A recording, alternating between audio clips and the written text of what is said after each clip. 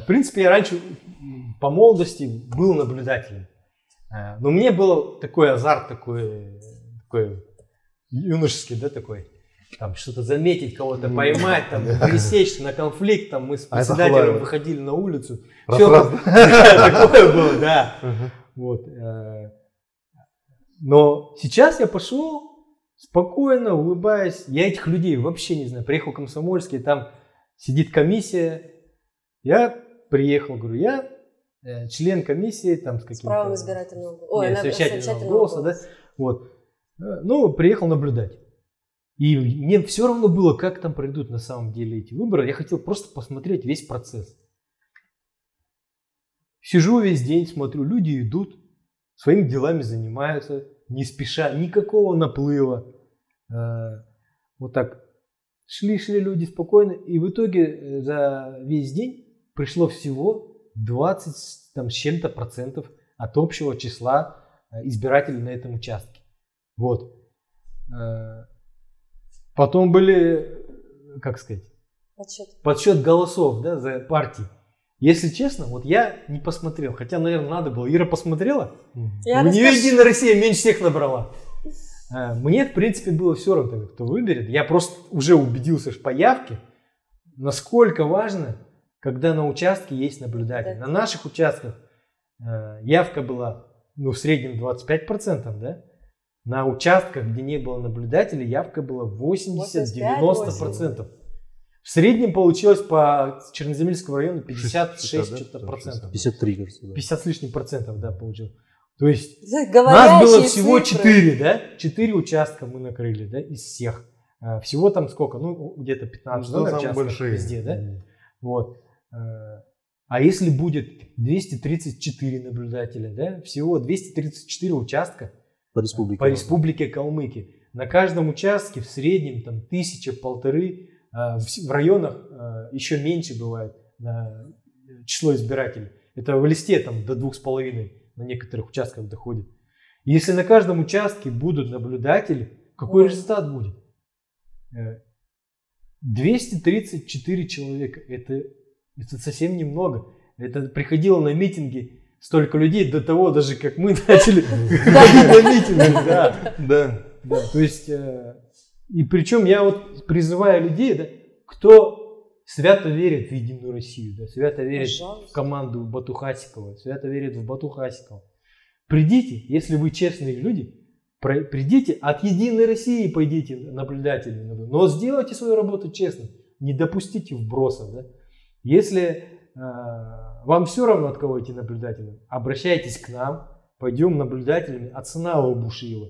Если его не пропустят, что вполне вероятно, мы знаем, да, как не пропускали до этого. Ничего Того же Ну да, Мацакова, Мацакова Владимира. Мацкова, там, Намсыра Нам Мамджиева. да. Вполне это возможно, что его не пропустят. Мы найдем возможность пойти избиратель, о, наблюдателем от любого другого кандидата. Нам все равно, кто идет на выборы, кандидаты. Мы хотим сейчас вот сделать эту прививку первую, да, вот эту первую, первую таблетку принять, да, пилюлю от этой, от этой заразы, которой мы все поражены, да, наш организм поражен. И начнем. Не получится, ничего страшного. Следующие выборы. Выборы там в Урал, выборы ВГС, выборы главы и так далее, и так далее. Мы постепенно начнем э, к этому приучаться. Может быть, и как раз через 30 лет это только сработает. Ты пойдешь своим путем. А ты пойдешь да? со своими детьми Да. уже, Я А мне, Да. мне не составляет труда на каждые выборы ходить наблю- наблюдателем. Даже если никто не пойдет. Ну, ничего страшного. Не, наблюдателями, что, раз, раз в год, там, на, на один день я приду. В любом случае. три дня. Я к тому, что в смысле так активно, а, например, вести Вот дело, деятельность, что там, энергию э, свою тратить конкретно, кон- конкретному человеку не надо быть активным весь год, там, быть поли- Конечно. политичным, думать о политике. Надо прийти один раз в год наблюдателем поработать и проверить, чтобы все было честно. И на самом деле, вот по моему участку, да, э, я скажу, что я видел, что члены комиссии, они были благодарны. Вот. Они сказали спасибо, да, что вы приехали. И в принципе в глазах их читалось, что они были рады, что мы приехали. Мы не дали им совершить преступление. Потому что, ну это же преступление на самом деле. Там, э, вы все знаете, яркий пример на всю Россию прогремевший, когда в поселке Приманыч э, есть видео, очень, блин, если честно, жалко, жалко. смотреть на этих людей, да. которые вбрасывали, да, mm. в урну бюллетени. Бюллетени. Это, наверное, те же учителя были. Потому что переходят И на это, были, это были несколько человек. Это сколько там, три или четыре ну, человека участвовали. Один смотрит, чтобы там Тут не зашел. Никто-то не зашел, другой Другая закрывает, третий да, там, да, еще Закрывает что камеру. Да, ну это же, это реально стыдно взрослым людям такое делать, и людям, особенно, которые учат детей. И не думаю, что они мечтали об ну, э, это делать, да. да?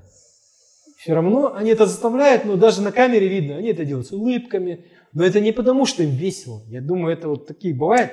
Потому что для них сказать, это уже норм. Когда ты в неловком положении, тебе приходится делать вид, что вот, ну, как бы, это само собой разумеется. Как говорят раньше, в советское время на заводах все воруют, ты не можешь воровать, потому что э, ты будешь выбиваться из коллектива, да. Ты не можешь не воровать, да.